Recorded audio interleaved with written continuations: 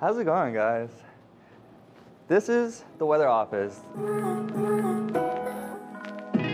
So, what a METOC Marine does, we record, analyze, and we disseminate the weather forecast for any operational needs and for the base.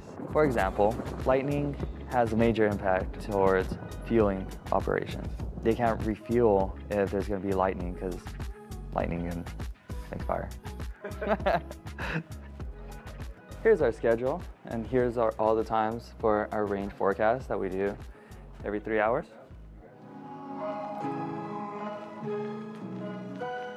This is Tucker, one of the trainees.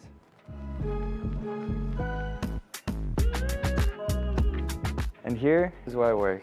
Here's where I determine the temperatures. This is a TAF. This is 24-hour forecast for Iwakuni.